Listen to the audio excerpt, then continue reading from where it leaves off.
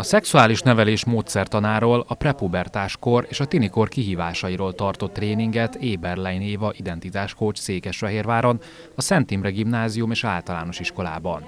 Kisevicné Toldi Hajnalka szervező elmondta, a tréning nagyon fontos a szülők, nagyszülők és pedagógusok számára is, ugyanis a szexualitásról nem hallunk eleget, sőt, tabu témának számít. Éberlein Néva az előadó, a, ő egy identitás kócs, ő nagyon hitelesen tud beszélni erről, ezzel foglalkozott már fiatalkora óta, és nagyon-nagyon fontosnak tartja ezt a témát, ugyanúgy, ahogy mi is, akik megszerveztük ezt a programot, hiszen tudniuk kell már nulla éves kortól a gyerekeknek, és a szülőknek nyilván nulla éves kortól a szülőknek, de aztán később a gyerekeknek is azt, hogy ők Isten teremtményei, hogy a szexualitást hogyan tudják megélni majd, a, majd később később a felnőtt korukban megfelelően, ahogy az Isten elgondolja, tisztán.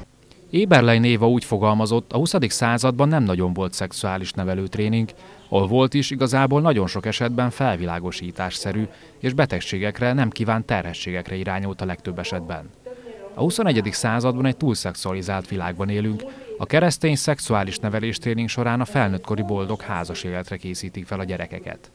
A kócs hozzátette, a szexuális nevelés módszertana nagyban eltér a felvilágosításétól. A felvilágosítás elsősorban néhány nagy beszélgetésről szól, vagy olyan programokról, egyébként nagyon jó felvilágosító programok vannak. A nevelés az egy hétköznapi együttjárás a gyerekkel napról napra meglátni azokat a helyzeteket, amik lehetőséget kínálnak arról, hogy, hogy életről, értékről, kapcsolatról, érzésekről, érzelmekről, szexualitásról beszélünk, nem az aktusra koncentrálunk, hanem, hanem egy ténylegi felkészítés a felnőtt boldog párkapcsolatra. Az eseményen részt vett Spányi Antal is. Megyés püspök kiemelte, a szexualitás minden korban olyan téma, amiről beszélni kell. A 21. században pedig különösen is fontos. A szexualitásra nem valamiféle rossz dologként kell gondolni, hanem meg kell látni benne azt, hogy az Isten ajándéka. A kérdés az persze, hogy az ember ezzel az ajándékkal hogyan él. Él vele, vagy visszaél vele. Nagyon fontos a gyerekeknek a szexuális nevelése, a felvilágosítása, ami tudjuk nagyon jól, hogy nehéz dió.